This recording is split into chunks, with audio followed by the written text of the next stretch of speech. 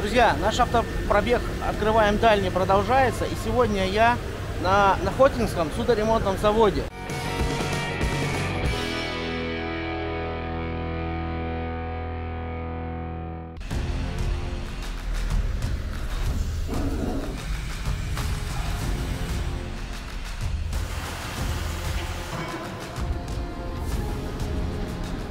Ну, слово ремонтный не совсем правильно, потому что, конечно, они занимаются и ремонтом судов тоже, но сейчас на заводе огромная, просто большая программа по строительству судов Краболова.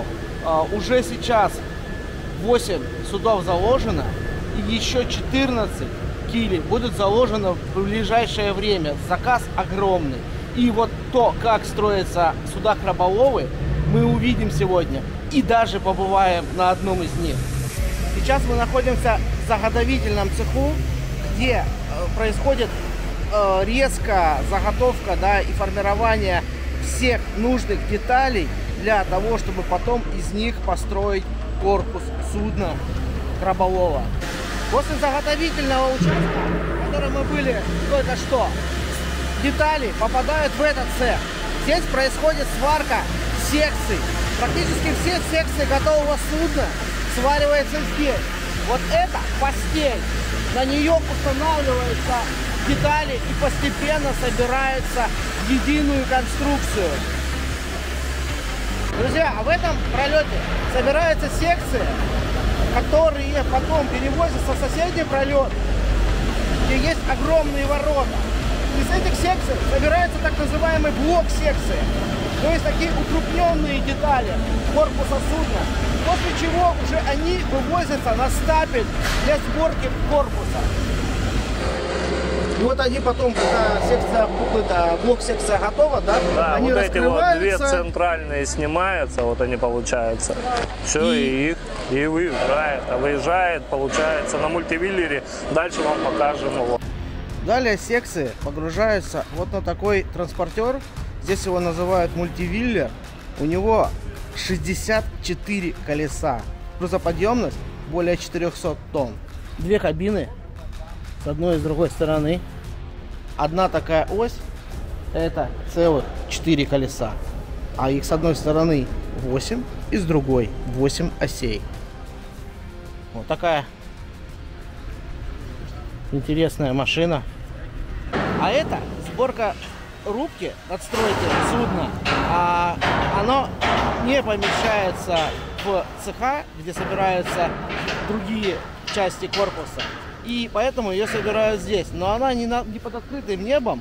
А, там дальше есть навес, который в случае дождя надвигается и защищает рабочих от дождя.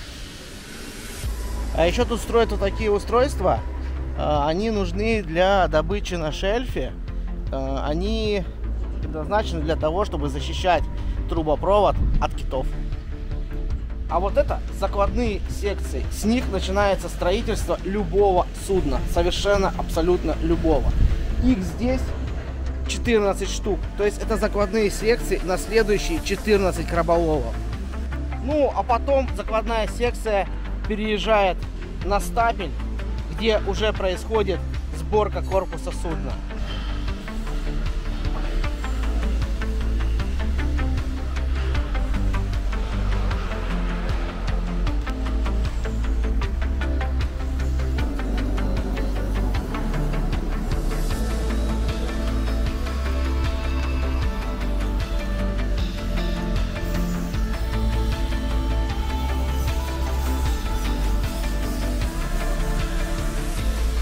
Итак, друзья, вот после формирования корпуса на стапеле суда перемещаются специальными машинами на следующий этап. Сейчас там на том этапе находится три краболова. И на этом этапе их насыщает оборудованием. Устанавливают иллюминаторы, устанавливают двери, устанавливают двигательную установку, устанавливают различные винторулевые колонки, подруливающие, э, какое-то оборудование, провода, э, испытывают на герметичность и так далее. Вот это последний этап, перед спуском судна на воду. Интересная система рельс, которая позволяет двигать суда не только вдоль стапеля, но и поперек.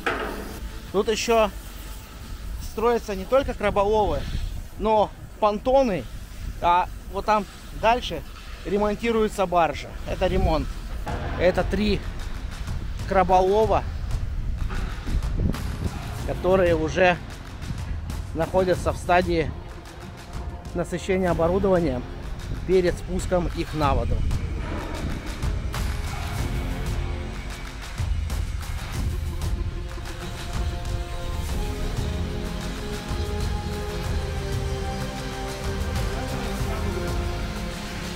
Ну а теперь мы с вами движемся к одному из уже построенных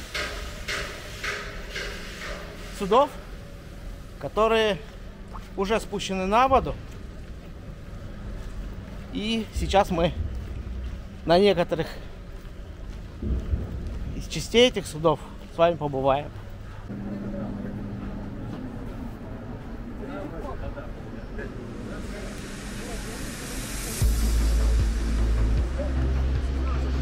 На пароходе у нас получается 9 кработанков.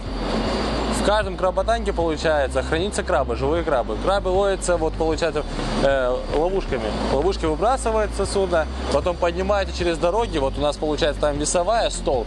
Потом переворачивают краб туда, выбирает, которые нам нужны. Потом через вот э, получается, вот видите, выреза такие, то там ставится конвейерная дорога, а оттуда выставляют краб, а вот тут ставятся клети такие. Я вам покажу, вы сфотаете клети, как выглядят с нержавейки. Потом выбирают краба и через кран отпускается в кработанке. В каждой кработанке 10 клетей помещается. А их привозят прям живых куда-то? Конечно. Поэтому называется судно для перевозки живого краба. Ага. Живовоз. Получается длина у нас судна 57,7, ширина 12,6 метров. А сколько членов экипажа? Член экипажа 22 человек.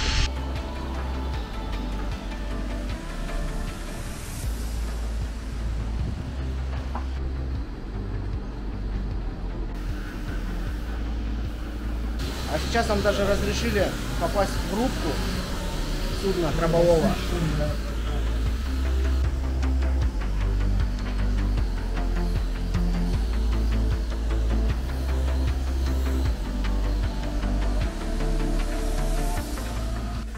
Друзья, я внутри рубки, здесь еще происходит достройка, но многие могут сказать, что, ну, а что здесь российского, кроме корпуса, да? Вот смотрите. Шильдик. Это какой-то пульт управления судном. То есть вот прямо здесь место, с которого управляют судном. И это производство МПК МСА. Это может связь автоматика. Город Санкт-Петербург. Сделано в России. Здесь тоже написано НТИ Санкт-Петербург. Сделано в России.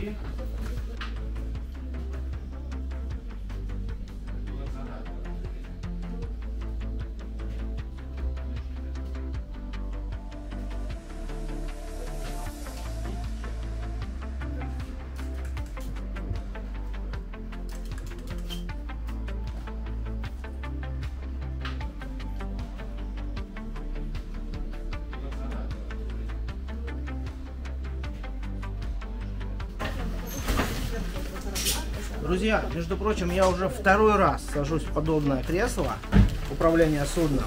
И оба раза это производство морсвязь автоматика. В предыдущий раз я сидел в электрическом судне в таком же кресле. Ну что ж, осталось только добавить, что суда будут достроены примерно ну, по плану. Это дата 30 ноября, после чего пройдут испытания заводские, приемочные и будут переданы заказчику. Эти три судна головные. Как я уже сказал, э, всего первая часть будет это 8 судов, а потом на следующем этапе заложено еще 14.